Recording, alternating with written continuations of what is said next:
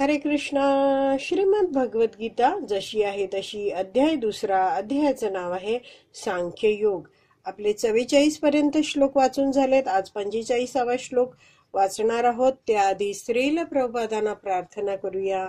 हे श्रील प्रभुपाद आम्ही भगवद्गीता हा ग्रंथ वाचून समजून घेण्याचा प्रयत्न करीत आहोत. त्यासाठी आम्हाला आशीर्वाद द्या. धन्यवाद प्रभुपाद त्रैगुण्य विषया वेदा निस्त्रैगुण्य भवार्जुना निर्द्वन्द्वो नित्यसत्त्वस्थो निर्योगक्षेम आत्मवान आत्मवान।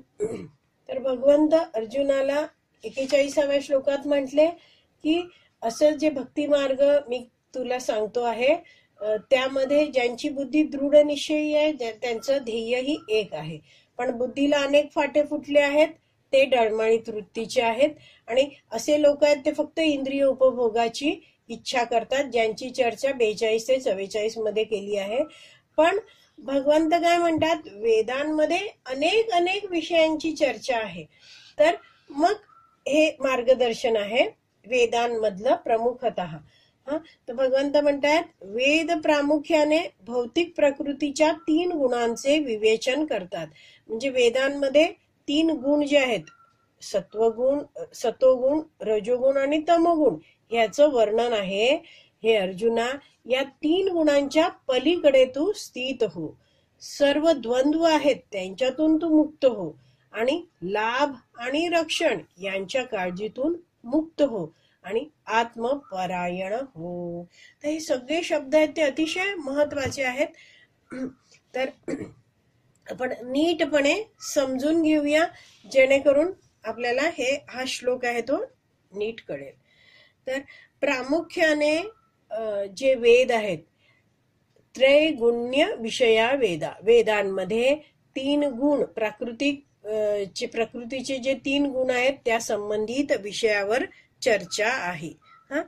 पण म्हणजे ह्याचा असा अर्थ नाहीये की केवळ वेदांमध्ये एवढंच दिलेलं आहे असं नाही. लोकांना काय वाटतं की हा श्लोक वाचतात आणि ते म्हणतात की इथे निस्त्रय गुण्य भगवंत म्हणतायत म्हणजे तीन गुणांच्या पलीकडे जा असं म्हणतायत.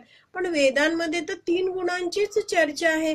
मग आम्ही कसं काय हे ह्या तीन गुणांच्या पलीकडे स्थित व्हायचं. आम्हाला काही हे समजत नाही. तर म्हणून प्रपात आपल्याला इथे तात्पर्यात समजवत आहेत की हे जे तीन गुणांच्या अतीत हो होणं जे आहे तेही कुठे दिलं आहे? वेदांमध्येच दिलं आहे. म्हणजे वेदांमध्ये तीन गुणांचे वेगवेगळे प्रभाव त्याचे सगळी विवेचन दिलं आहे वर्णन केलंय आणि वेदांमध्येच पुढच्या भागामध्ये असं समजावून सांगितलंय की ह्या तीन गुणांच्या अतीत मनुष्य कशा प्रकारे जाऊ शकतो. तर इथे म्हटलं आहे निस्त्रय गुण्य भव अर्जुना. तर भगवंतांचं सांगणं काय आहे तीन गुणांच्या पलीकडे स्थित हो म्हणजे काय? तू भगवंतांच्या भक्तीत संलग्न हो. तर वेदांमध्ये जसं कर्मकांडां वर्णन आहे. हा? जे तीन गुणांच्या नुसार कार्य करायला जे सगळं सांगितलं आहे. तर भगवंतांचं हेच म्हणणं आहे की तो जो कर्मकांड विभाग जो वेदांमध्ये दिलाय त्यात तू फारसा अडकून पडू नकोस. वेद हे प्रचंड आहेत आणि तू त्या कर्मकांड विभागाच्या पलीकडे जा. वेदांमध्ये वेदांमध्ये एक आत्मज्ञान दिलेलं आहे ज्याला ज्या भागाला काय म्हटलं जातं? उपनिषदीय ज्ञान. त्यात तू तुझं चित्त गुंतव असं भगवंतांना सांगायचं आहे. तर केवळ कर्मकांडामध्ये अडकलेले लोक यांची चर्चा भगवंतांनी बेचाळीस ते चव्वेचाळीसमध्ये केली आहे. पण जो खरा बुद्धिवान आहे त्यांनी मात्र या कर्मकांडात अडकू नये म्हणून हा श्लोक भगवंत सांगतायत. तर व्यासदेवांनी सगळे वेद वगैरे संकलित केले. आणि त्यानंतर सार रूपामध्ये त्यांनी वेदांत सूत्र लिहिलं. तर वेदांत सूत्र यामध्ये अगदी छोटे छोटेसे श्लोक आहेत. तीन चार शब्दांचे एकत्र असे. आणि म्हणजे ती वचनं आहेत सूत्र आहेत आणि ती खूप शब्द कठीण आहेत त्याची. आणि मग त्यांनी काय केलं? हे वेदांत सूत्र आहे त्यावर आणखीन एक लेखन केलं. त्याला म्हटलं जातं श्रीमद भागवतम जे हे वेदांताचं सार आहे. म्हणजे वेदांत सूत्र जे लिहिलं आहे त्याचं जो सार वेदांताचं सार आहे ते श्रीमद भागवतम आहे. तर वेदांताचा उद्देश काय आहे? हे वैदिक शास्त्र पूर्ण जे शेवटी व्यासदेवाने दिलं त्याचा उद्देश काय आहे? भगवंतांना जाणणं.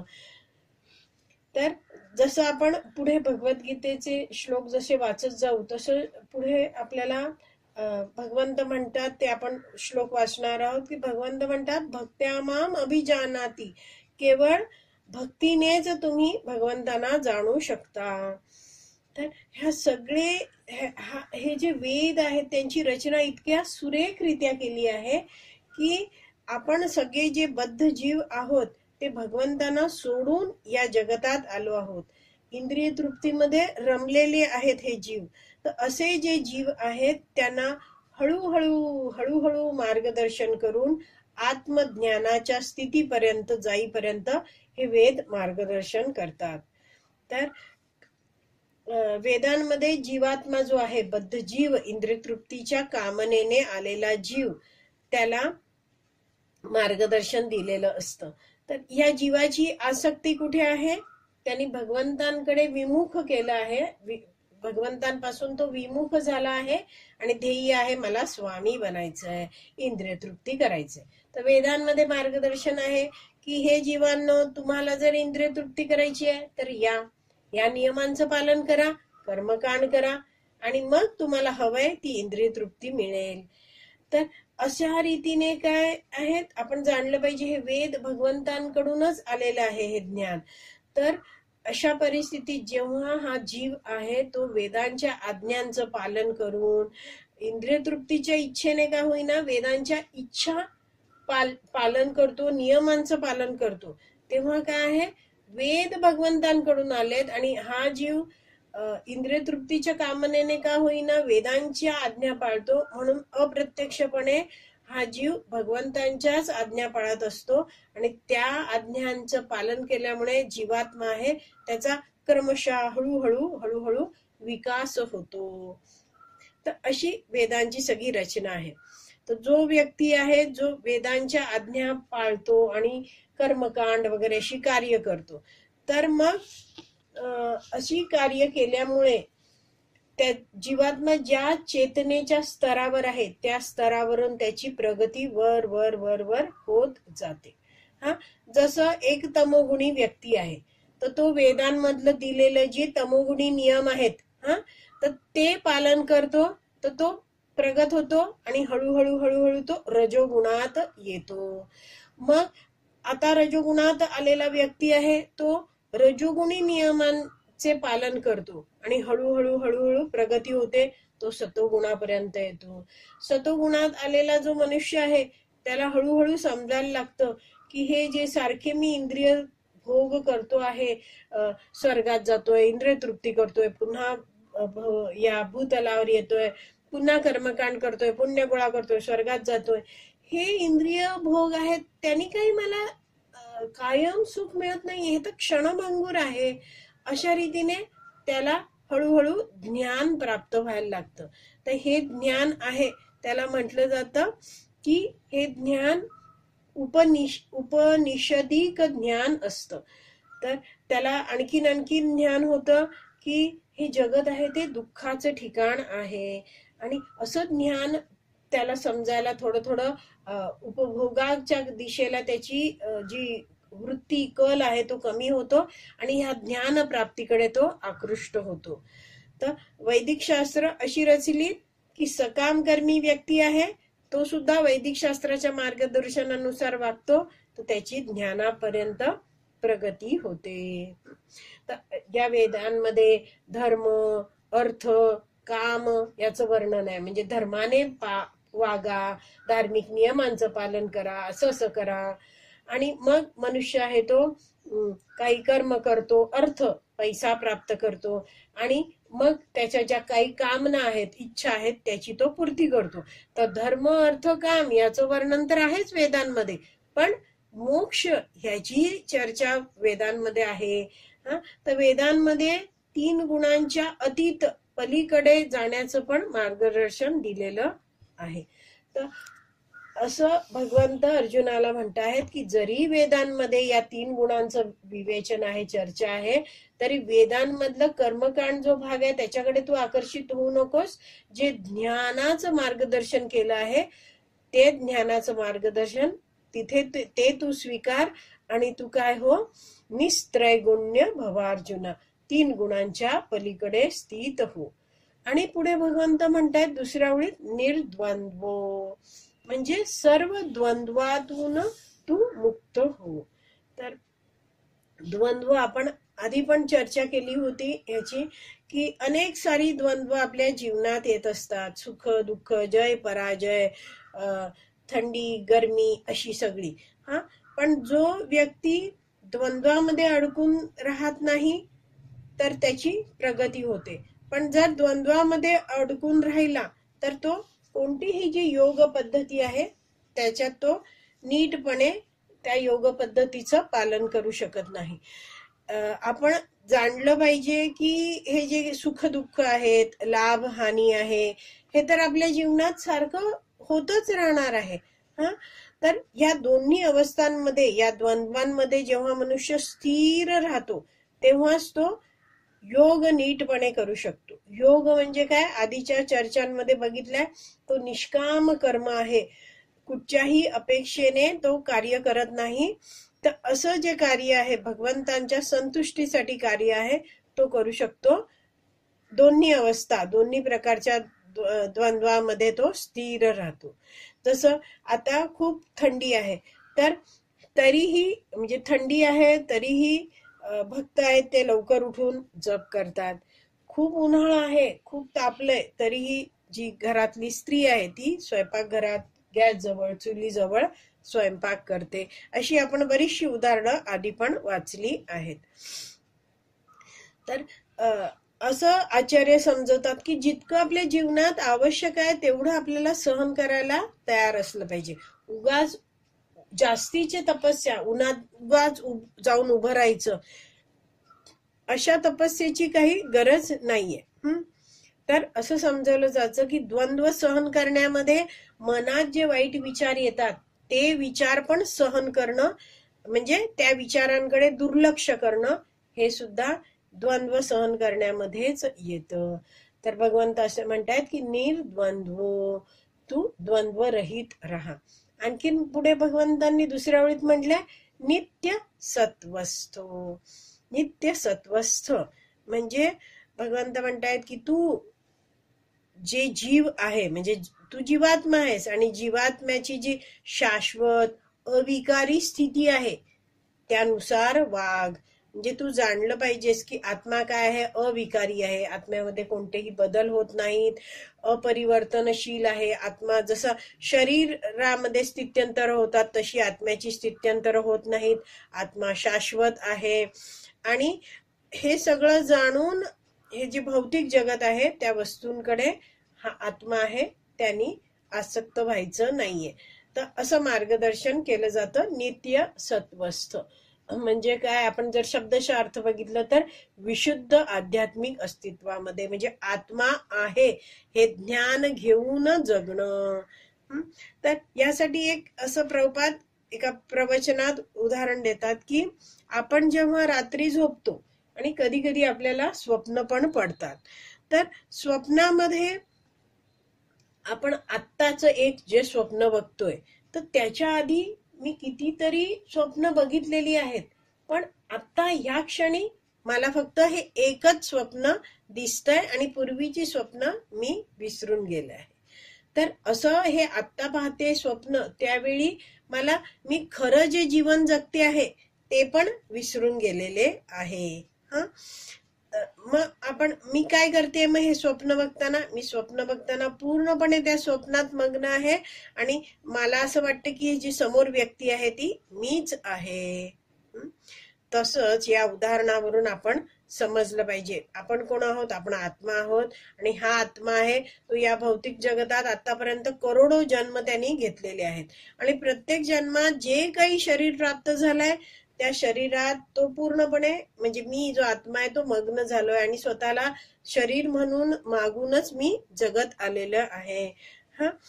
तर मग जसं आपण या जन्मात आता मग्न होतो आता भक्तीत आलोय म्हणून आपल्याला कळतंय की मी शरीर नाहीये आत्मा आहे. पण नाहीतर आपण स्वतःला शरीर मानूनच जगत होतो. तर इथे भगवंत अर्जुनाला म्हणतात नित्य सत्वस्थ. म्हणजे काय आहे? तू जाणलं पाहिजे की मी आत्मा आहे आणि ही जी काही द्वंद्व आहेत ही जीवनात येतच राहणार आहेत त्यात मला अडकून पडायचं नाहीये. जसं आपण विचार करतो की हा चांगला माणूस आहे तो नाही आवडत मला हे चांगलं आहे अरे त्याच्यात हे दोष आहेत. असं काय आहे? आपण शारीरिक स्तरावर असले की असे काही दोष बघण्याची वृत्ती असते द्वंद्व करण्याची द्वंद्वमध्ये जगण्याची वृत्ती असते. आणि त्यामुळे अशा द्वंद्वांचे विचार सारखे मनात आल्यामुळे हा चांगला तो वाईट ह्याच्यामुळे आपलं चित्त दूषित होत असतं. म्हणून भगवंत म्हणतायत अर्जुनाला की आत्मास्तर जो आहे विशुद्ध आध्यात्मिक अस्तित्व म्हणजे मी शरीर नाहीये मी आत्मा आहे या ज्ञानात तू स्थिर हो. पुढे भगवंत म्हणताय निर्योगक्षेम. निर्योगक्षेम. ह्यामध्ये जर शब्दशः अर्थ तुम्ही बघितले तर त्यात दिलाय लाभ आणि रक्षण यांच्या विचारातून मुक्त. तर भगवंत अर्जुनाला म्हणतात की जे तुझ्याकडे नाहीये त्या गोष्टी प्राप्त करण्यासाठी खूप जास्त लालसा करायची आवश्यकता नाही. हा? योगक्षेम. योग म्हणजे काय? ह्याचा एक अर्थ आहे जोडणे. म्हणजे मला आणखीन माझ्याकडे या वस्तू जोडायच्या त्या वस्तू जोडा गोळा करायच्यात खूप साऱ्या वस्तू हव्यात हव्यात. असे ह्याची अशी लालसा असते बघा लोभी वृत्ती ह्याची काही आवश्यकता नाही. आणि क्षेम या शब्दाचा आहे अर्थ रक्षण. तर माझ्याकडे ज्या काही गोष्टी आहेत त्यांचं सगळ्यांचं रक्षण करण्याची प्रचंड चिंता करण्याची काही आवश्यकता नाही. आहे त्या गोष्टींची काळजी घ्यावी पण त्या गोष्टींची खूप आसक्त व्हायची काही आवश्यकता नाहीये. म्हणजे आसक्ती नको. आणि मला हे पण पाहिजे मला ते पण पाहिजे असंही करायचं नाही. कारण जितक्या आपण वस्तू गोळा करत जाऊ तितकं त्या वस्तूंशी आपण आसक्त पण होतो आणि त्या वस्तूंच टिकवून ठेवण्याची ही भावना आपल्याला येते. आणि मग आपली वृत्ती काय होते? अनावश्यक गोष्टी आहेत त्या आपण गोळा करत राहतो. आणि म्हणून समजावलं जातं की अशा खूप साऱ्या गोष्टी अनावश्यक गोष्टींची जमवाजमव करत बसू नये मनुष्याने. का? कारण जितक्या आपण गोष्टी जमवू तितकं आपण भौतिकतेने ग्रसित होऊ जास्तीत जास्त शारीरिक स्तरावर राहू. म्हणून प्रपात आपल्याला काही प्रवचनामध्ये म्हणतात की डू द नीडफुल आवश्यक आहेत त्या गोष्टींचा आपण स्वीकार करायचा पण चिंता काळजी करायची नाही. आता इथे शेवटचा शब्द आहे बघा आत्मवान. त्याबद्दल अर्थ बघितला तर दिला आहे आत्मपरायण. आत्मपरायण म्हणजे ज्या ज्या व्यक्तीचं चित्त भगवंतांमध्ये लागलेलं आहे तो आत्मवान असतो. तर अशा प्रकारे भगवंत हा उपदेश देत आहेत निर्योगक्षेम तर जे ब्रह्मचारी जीवन जगतायत जे वानप्रस्थ जीवन जगतायत आणि जे संन्यास जीवन जगत आहेत तर ते पूर्णपणे भगवंतांवर अवलंबून आहेत. आणि एकच या चार आश्रमातला आश्रम जे आहेत त्यातला एक आश्रम आहे गृहस्थ आश्रम. त्यामध्ये आपण धन अर्जित करत असतो पैसा कमवत असतो. तर गृहस्थांनी सुद्धा खूप सारी चिंता करू नये खूप गोळा करू नये. कारण एक उदाहरण दिलं जातं की जी मधमाशी आहे ती खूप सारं कष्ट करते. मध गोळा करते आणि एक दिवशी असा खूप सारा धूर येतो आणि कोणीतरी दुसराच सगळं मध ते घेऊन जातो. तसं आपण जीवनभर फक्त पैसाच गोळा करत राहिलो भगवंतांची भक्ती केली नाही तर काय होईल? एक दिवस असा येईल आपण ठपकन मरून जाऊ आणि ही जी संपत्ती आहे ती सगळी आपल्याला इथेच सोडून द्यावी लागेल. आणि मग आपण मनुष्य जीवनाचा योग्य तो उपयोग केला नाही असं होईल आणि आपल्यासारखे दुर्दैवी आपणच असू. आणि म्हणून म्हटलं आहे की मनुष्याने हे पण पाहिजे ते पण पाहिजे ह्याचे खूप लोभी वृत्ती नसावी त्याच्याकडे. आणि जे आहे त्याची प्रचंड चिंता आहे कसं रक्षण करू ह्याची फारशी खूप चिंता करायची काही आवश्यकता नाही. डू द निडफुल आवश्यक आहे तेवढं करावं. तर अ, हे जे जे ब्रह्मचारी आहेत जे वानप्रस्थ जीवन जगणारे आहेत आणि जे संन्यासी आहेत त्यांच्या खाण्यापिण्याच्या समस्येबद्दल काय? जर असा कोणाला प्रश्न पडला तर काय उत्तर दिलं जातं?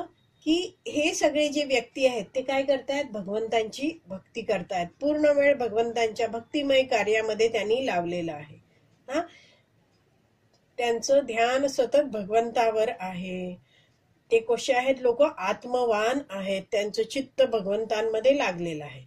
तर असे हे जे भगवंत आहेत ते संपूर्ण ब्रह्मांडांचं भरण पोषण करत आहेत.